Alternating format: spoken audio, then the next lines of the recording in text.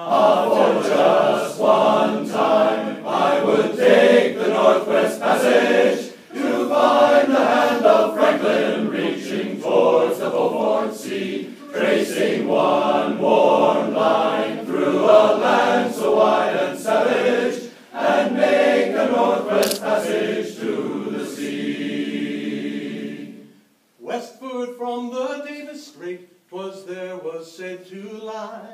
the sea route to the Orient, for which so many died.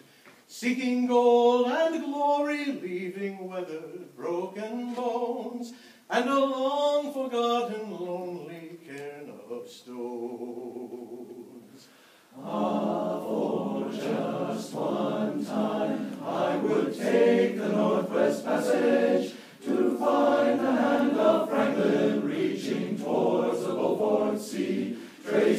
One warm line through a land so wide and savage, and make a Northwest Passage to the sea.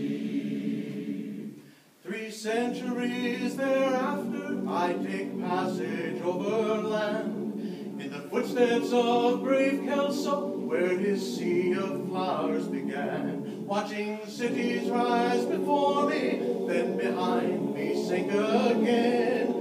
This tardiest explorer, driving hard across the plains. Ah, for just one time I would take the Northwest Passage to find the hand of Franklin reaching towards the Beaufort Sea, tracing one warm line through a land so wide and savage, and make the Northwest Passage to the sea.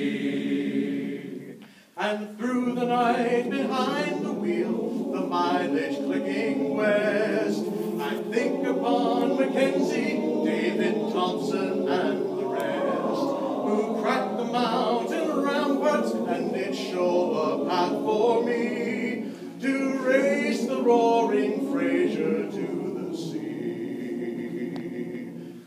Ah, for just one